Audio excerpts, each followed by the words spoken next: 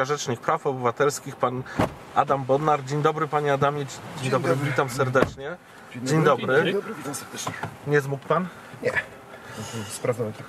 Zanim, zanim mamy bardzo sprawną ekipę, zanim e, p- porozmawiamy, chciałbym, żeby wiem, że pan widział, ale chciałbym, żeby nasi widzowie zobaczyli króciutki film e, z Francji o zachowaniu pewnego pana wobec dziecka i zaraz powiem, dlaczego o tym mówię. Proszę to zobaczyć.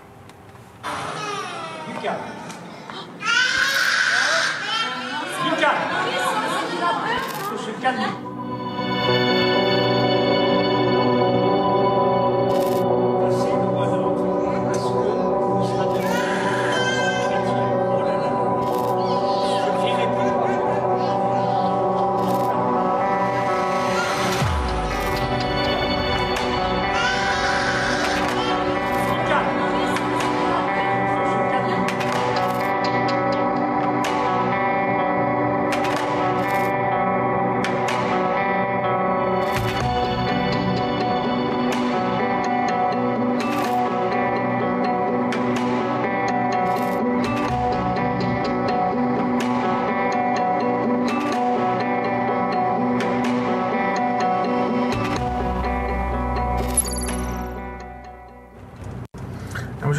Ogólnoludzkim poziomie ten film dowodzi, że źli ludzie się wszędzie mogą trafić.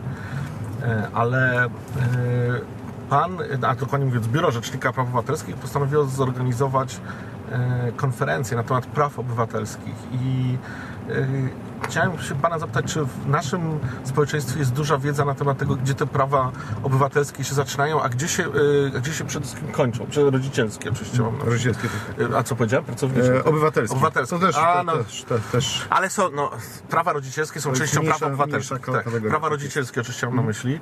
E, Gdzie się zaczynają, gdzie się kończą? Bo ta dyskusja, którą teraz widzę w mediach o tym, że jednak w zasadzie to można dzieci bić i to nie jest żaden problem, mnie przeraża, powiem szczerze. To znaczy, mamy. Dlaczego ten kongres, y, który zorganizowaliśmy, jest dla nas bardzo ważny? Ponieważ mamy do czynienia z tym, że z jednej strony są gwarancje prawne, y, czy to przepisy konstytucji, czy ustaw y, zwyczajnych, a z drugiej strony mamy ogromną zmianę społeczną, która się w Polsce odbywa. I teraz to, o czym pan redaktor powiedział, czyli stosowanie przemocy wobec dzieci. Dla mnie nie ulega wątpliwości, że przemoc e, wobec dzieci jakakolwiek, czy to ze strony księdza, czy ze strony rodzica, czy ze strony nauczyciela, e, musi być zakazana. E, I nie ma w ogóle przyzwolenia na to, jeżeli rodzice e, nie potrafią e, dyscyplinować dzieci, to niech się zapiszą na kurs, niech się nauczą jak to robić, ale ostatnią rzecz, jaką mogą robić, to jest karcenie fizyczne i absolutnie nie akceptuję tych głosów mówiących, że tak, w wyjątkowych sytuacjach trzeba to robić. I jak o tym myślimy, to na czym ta zmiana społeczna polega, to ja sobie przypominam taką historię z mojego dzieciństwa i podejrzewam, że także z dzieciństwa pana redaktora.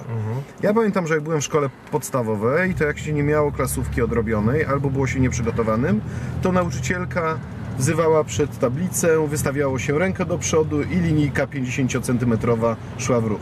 Mnie próbowali nauczyciele nas bić, ale myśmy oddawali, więc przestali. A okej, no u mnie tak może nie było, zdarzały się takie sytuacje. I teraz tak, jak ja jadę do szkoły w Polsce i rozmawiam z uczniami i mówię, słuchajcie, jest zakaz e, bicia dzieci w konstytucji, zakaz stosowania kar cielesnych i że takie historie się zdarzały w polskich szkołach, to oni patrzą na mnie i myślą, że jakbym mówił o jakąś ba- bajkę o żelaznym wilku.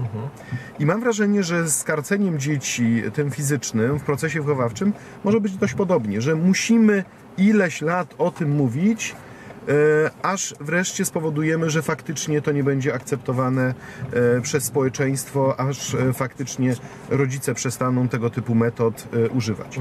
Natomiast ten Kongres Praw Rodzicielskich to nie tylko jest kwestia dyskusji o tych tematach, e, natomiast e, nam bardzo zależy na dyskusji o tym wszystkim, co się dzieje wokół rozwodu czyli władza rodzicielska, opieka naprzemienna, kontakty z dziećmi po, e, po rozwodzie, e, płacenie alimentów, ten spór, który, konflikt, który powstaje po- między rodzicami, jak on wpływa, e, wpływa, wpływa na dzieci. Bo tutaj niestety mamy sporo pokrzywdzonych, głównie ojców, e, którzy pomimo tego, że chcieliby się tymi dziećmi zająć, to mają różne, powiedziałbym, trudności w tym, żeby te kontakty porządnie uregulować. Występuje tak zwany proces tej e, alienacji rodzicielskiej, czyli tego, że jeżeli dziecko zostaje u matki, głównie u matki przez jakiś czas, to później trudno temu ojcu nawiązać porządny e, kontakt i o tych rzeczach e, przez dwa dni rozmawiamy. Czy dużo skarg wpływa, czy próśb o pomoc do Rzecznika Praw Obywatelskich właśnie do ojców, którzy uważają, są poszkodowani w wyniku rozwodu? Trochę wpływa, myślę, że znacznie więcej do Rzecznika Praw Dziecka E, i Rzecznik Praw Dziecka się tym e, zajmuje od, e, od lat. Natomiast tutaj mamy taką sytuację, gdzie dochodzi do styku, tak, z jednej strony nasze procedury nie są najlepsze i nasz kodeks rodzinny jest zaczepiony jeszcze, można powiedzieć, poprzedniej e, epo, epoce, jeśli chodzi o różne rozwiązania. Na przykład wczoraj Wojciech Eichelberger, e, który był naszym gościem kongresu, mówił, że no, kompletnym bezsensem jest to, że orzeka się o winie w czasie rozwodu. No, wina Zazwyczaj któryś z małżonków tam popełnia prawda, większe przewinienie i można na tej podstawie e, orzec e, winę, ale wiemy dobrze z psychologii, że ta wina zazwyczaj się e, jest rozpisana na wiele, wiele miesięcy czy nie, czy nie lat i zazwyczaj to jest kwestia dwójki małżonków, którzy gdzieś tam się nie dopasowali Tak. emocjonalnie. Często I na na przykład- można mówić o winie po prostu. No, to jest No. trudno jest... No, no właśnie, i z tego chociażby można byłoby zrezygnować. To jest jedna rzecz. A druga rzecz, któ- która moim zdaniem jest strasznie istotna, to jest kwestia efektywności działania sądów. No bo jeżeli mamy Wczoraj y, panel, który prowadziłem akurat. y, Panie, m, panie adwokat, które występują w tych procesach, mówią, że no, na opinię y, y, zespołu specjalistów sądowych, którzy oceniają sytuację w rodzinie, czasami czeka się nawet rok. Tak? No to wymyśl, pomyślmy sobie, dziecko jest przez rok u matki, ojciec stara się o kontakty, rozpoczyna całą procedurę i czeka na samą opinię zespołu specjalistów sądowych przez rok, później na kolejne postanowienie sądu ileś tam miesięcy, no to w tym czasie ta więź mu się całkowicie rozrywa. Do czego zmierzam, że efektywność postępowań sądowych, to, że sądy działają szybko, sprawnie, jest kluczowa w tych sprawach, bo upływ e, czasu, każdy miesiąc, każdy tydzień e, powoduje już nieodwracalne zmiany w relacjach między e, dziećmi a rodzicami. Ale czy nie sądzi Pan, że tak sobie myślę w ogóle o, stanie prawa w Polsce, że w, najbliższych latach raczej będzie, znaczy te, to prawodawstwo dotyczące rozwodu będzie utrudniać do, przeprowadzenie rozwodu, a nie ułatwiać. Bo Pan mówi o tym, żeby generalnie ułatwić ludziom przejście przez tą traumę i ja się całkowicie zgadzam, sam przez tą traumę przechodziłem, ale yy, ja mam wrażenie, że to pójdzie w drugą stronę. Że wzięcie rozwodu będzie, że wszystkie procedury pójdą w tą stronę, żeby utrudnić ludziom przeprowadzenie tego procesu, a nie ułatwić. Faktycznie pojawiają się takie tendencje, żeby wzmacniać ochronę e, małżeństwa i, i takie dyskusje się e, pojawiają, no ale statystyki są nieubłagane, tak? To znaczy statystyki są takie, że e, kilkadziesiąt procent w dużych miastach ludzi się e, rozwodzi, że... W Warszawie to e, ponad połowa nawet Tak. e, tam- e, w mniejszych miastach oczywiście ta rodzina jest bardziej taka tradycyjna i, i związana. No i teraz jest taka sytuacja, czy albo utrudniamy procedury i powodujemy, że ludzie trwają w tym przez e, wiele miesięcy, lat kosztem dzieci, albo może nie tyle ułatwiamy, ale powodujemy, że stawiamy na piedestale dobra, dobro dziecka. Czyli, że e, jeżeli chodzi o rozwód, to tak kształtujemy procedury, żeby faktycznie o to dobro dziecka trwać. I tutaj zresztą z opinii ekspertów wczoraj wynikało, że e, dobry rozwód, znaczy w sensie przeprowadzony tak e, pozytywnie, z poszanowaniem praw obu stron, z pewną wolą porozumienia z mądrym sędzią, może spowodować, że to dziecko dalej będzie w miarę przyzwoicie funkcjonowało. No ale trzeba na przykład rozwijać takie instytucje jak opieka naprzemienna, czyli to, że dziecko jest trochę u jednego rodzica, trochę, o, e, trochę u drugiego i że w ten sposób to się, e, tą przyszłość tego dziecka się e, buduje. No ale znowu, do tego musi nastąpić, nie tylko wystarczy to zadekretować w przepisach, tylko musi następować pewna zmiana, społeczna akceptacja dla tego typu form opieki. Czy trochę patrząc szerzej na prawo, czy pan nie ma takiego wrażenia, że w ogóle zmiany w prawodawstwie idą w stronę takich zaostrzania przepisów i raczej e, bardziej ostrego karania i mówienia ludziom jeszcze więcej, czego im nie wolno, niż, niż rozszerzania ich e, praw, tylko raczej zawężania tych praw.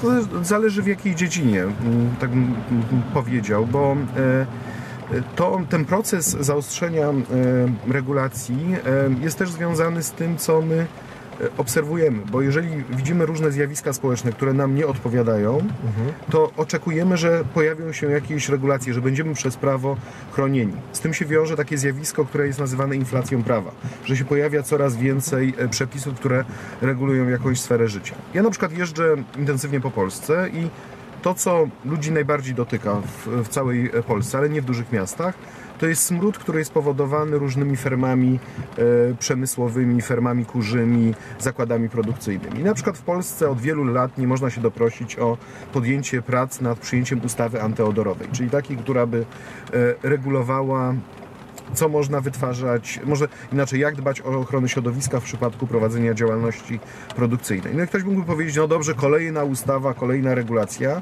no ale dla ludzi, którzy żyją na wiosce, w wiosce, gdzie właśnie jest ta ferma produkcyjna, to jest coś, co jest y, kluczowe dla ich dalszego istnienia i funkcjonowania. Dla że- jakości ich życia, Że tak. właśnie, że ktoś to y, ureguluje. I, I stąd się też pojawiają te różne ograniczenia i, i nakazy. E, Natomiast e, fakt jest też taki, że w ostatnim czasie e, mm, no, doświadczamy pewnych takich regulacji, które mogą być uznane za ograniczające nasze, naszą wolność. No, zakaz handlu w niedzielę jest takim dobrym przykładem, gdzie tutaj ustawodawca uznał, że jednak ten interes publiczny, poszanowanie praw pracowniczych, ochrona niedzieli jako, jako szczególnego dnia dla rodziny jest ważniejsze niż e, stworzenie możliwości e, regularnego e, handlu. I to można by oczywiście uznawać jako to ograniczenie naszej wolności. A y, zmiany w. To, ja wiem, bo to, to ciekawe, co Pan powiedział o, o małych miejscowościach, i to jest. y, Czy za, trochę zapytam Pana szerzej, czy y, to, o czym my zawsze rozmawiamy i to, o czym Pan też rozmawia, jak przychodzi Pan do nas często, czyli praworządność i y, ustrój sąd, sądowy, jesteśmy w przededniu dramatycznych zmian w Sądzie Najwyższym. Czy Pan ma wrażenie, że w małych miejscowościach to ludzi mniej obchodzi i to nie jest coś, co im spędza sens powiek? I że na przykład taka ustawa antyodorowa jest dla nich dużo ważniejsza? Ja myślę, że nasz problem polega na tym, że my nie jesteśmy w stanie odczuć na co dzień, co oznaczają zmiany dotyczące praworządności e, oraz sądownictwa e, w Polsce. Że są jedynie pewne grupy zawodowe, które już teraz tego mm, odczuwają. Na przykład no, redakcja Onetu się zajmuje intensywnie e, funkcjonariuszami czy osobami, które pracowały w służbach podległych MSW przed 1989 rokiem, prawda? czyli tą ustawą represyjną. 50 tysięcy osób, którym już obcięto emerytury i które w zasadzie prawie nie mają skutecznych środków prawnych teraz, żeby dochodzić swoich praw. I te osoby mieszkają w całej Polsce. One już bardzo konkretnie odczuwają, na czym ten kryzys Czy oni się e, też praworządności... do pana prośbą tak, tak, no ponad, ponad 2000 e, skarg trafiło. Wiele skarg zalega w sądach. E, MSWiA nie, nie, jeszcze nie zaczął wydawać decyzji, które pozwalają na to, żeby w niektórych przypadkach odstąpić od stosowania tej ustawy. Ale wyobraźmy sobie inne sytuacje, że mamy właśnie jakiś spór dotyczący e, z jakimś lokalnym producentem gdzieś na szczeblu lokalnym. E, Gdzieś e, spór, spór ze spółką Skarbu Państwa czy z jakąś spółką zależną z Skarbu Państwa i gdzieś na tym szczeblu lokalnym zaczynamy dochodzić naszych uprawnień. Czy faktycznie będziemy mieli prawo do rzetelnego sądu, jeżeli te sądy będą podporządkowane, czy też być może to prawo będzie jakoś ograniczone, będzie taki wpływ na to, jak te sądy będą działały, E, że sędzia będzie się zastanawiał, czy faktycznie może sobie pozwolić na pójście zbyt daleko. E, Czy ofiara przemocy domowej, która e, w sytuacji, kiedy ta przemoc stosowana była przez jakiegoś możnego lokalnego polityka związanego e, z partią aktualnie e, rządzącą, będzie też miała pełne prawo do ochrony prawnej, do ochrony sądowej, prokuratorskiej, jeżeli to wszystko będzie podporządkowane. To są bardzo konkretne historie, które mogą się zdarzyć i, i które mogą w Polsce wystąpić. Czy ma Pan wrażenie, że przez ostatnie lata y, siła państwa wobec obywatela wzrosła? Ja mam takie wrażenie. Ja mam takie wrażenie, że państwo na wszelkich polach się rozpycha moim kosztem. Znaczy w sensie zwykłych obywateli. Czy w prawie to widać też? Niestety m, widać to i, to i to bardzo wyraźnie. No wczoraj był, ciekawy dzień. Amnesty International ogłosiło taki bardzo ciekawy raport na temat wolności zgromadzeń. Tak? Że to nie tylko chodzi o ograniczanie wolności zgromadzeń, ale też wykorzystywanie technik inwigilacyjnych w stosunku do y, obywateli oraz to, że obywatele niespecjalnie mogą liczyć na zawsze w pełni rzetelne działanie i profesjonalne działanie policji, że ta policja już może działać w sposób uwarunkowany politycznie. Prokuratura też już jest no, całkowicie podporządkowana woli politycznej. Jeżeli jesteśmy na tym etapie, że pani prokurator Mik, wybitna prokurator, jest karana dyscyplinarnie za to, że publikuje artykuł w Rzeczpospolitej, e, który ocenia różne reformy, no to, to coś pokazuje. Tak? Nie, nie wyobrażam sobie, żeby e, tego typu e, kary dyscyplinarne zdarzały się w normalnie funkcjonującym, demokratycznym państwie. E, Dostęp do, do mediów i do dyskusji, e, czyli ograniczanie niezależności e, mediów publicznych, to, że nie zapewnia się tam pluralizmu poglądów. W ogóle cała, cały mechanizm inwigilacyjny, który, która, który władza ma do dyspozycji, który w zasadzie nie podlega jakiejkolwiek kontroli, czyli mam na myśli wszystkie służby specjalne, to co może robić policja, e, prokuratura. Służba cywilna, która też stała się, e, przestała być w pełni niezależna i e, apolityczna. No i wreszcie Trybunał Konstytucyjny, który nie zapewnia nam wystarczającej ochrony e, prawnej.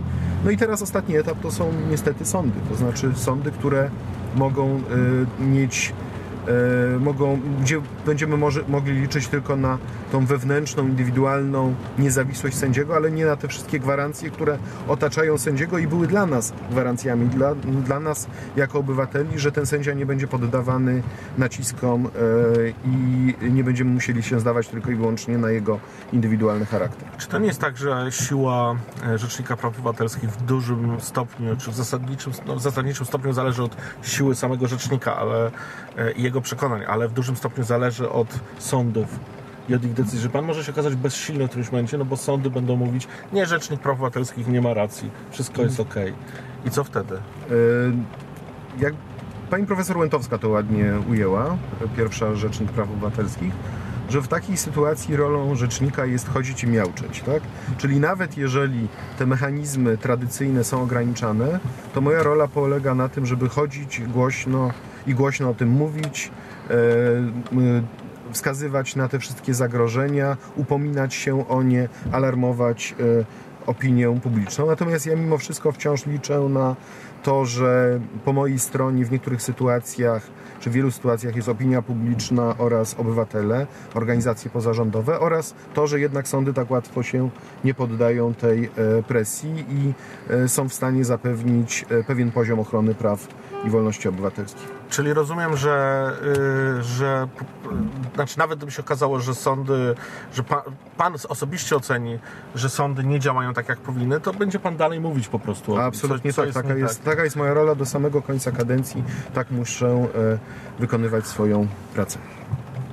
Panie Rzeczniku, bardzo dziękuję. Bardzo dziękuję panie doktorze. E, Mam nadzieję, dnia że ten koniec był pogody. optymistyczny, a nie E, pesymistyczny. Musimy być optymistami. Musimy być optymistami, bo Bardzo dobro potrzebuję tego. Dziękuję bardzo. Dziękuję bardzo. Dziękuję. Adam Bodnar, Rzecznik Praw Obywatelskich. widzenia, do widzenia panu. Dziękuję. Dziękujemy bardzo.